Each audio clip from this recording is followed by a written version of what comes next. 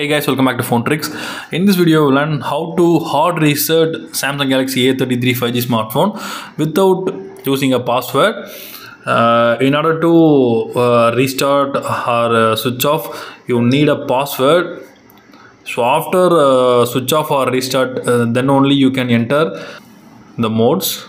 So when you try to power off, it will ask for a password so without entering password you can you can't do hard reset in samsung galaxy a33 smartphone. But using simple trick you can easily reset the phone without the password.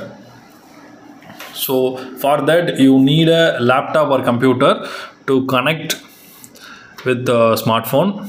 So i connect the cable with my laptop but it's only for connection purpose only. There is no work with laptop or computer so don't worry. So it's only for connecting purpose only. So without connecting the cable to computer it's not working. So I uh, repeat that.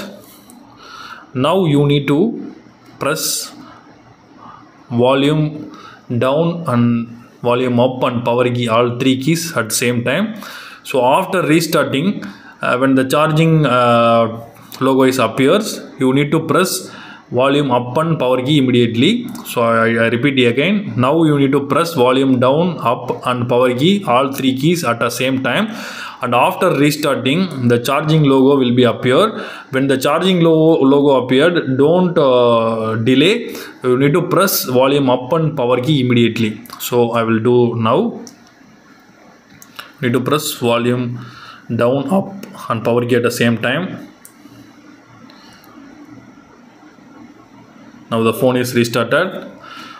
Now wait for the charging logo appears. So it show the percentage now. So when the percentage is showing you need to press volume up and power key at a time.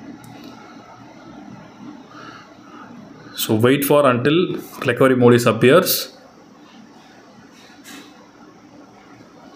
Now the recovery mode is appeared here. You can see now you need to press volume down key in order to down the options. You need to go with wipe data and factory reset. So before that we can do wipe cache partition also. So select the wipe cache partition and select power key to cache partition. Now again come back to the wipe data and factory reset. Then click power button to enter.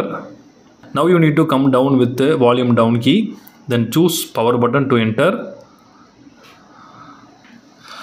Now the data wipe is completed. Now you can remove the usb cable.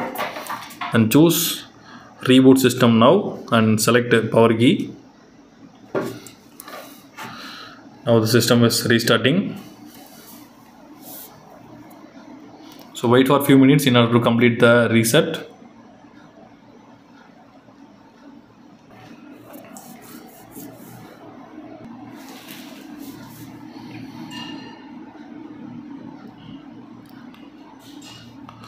So you can see the phone is reset successfully.